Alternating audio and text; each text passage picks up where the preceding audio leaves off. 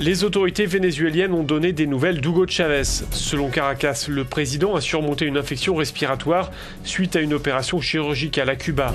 D'après le vice-président, Hugo Chavez pourrait être de retour dans quelques semaines. Le leader vénézuélien souffre d'un cancer. Il n'a plus été vu en public depuis le 11 décembre.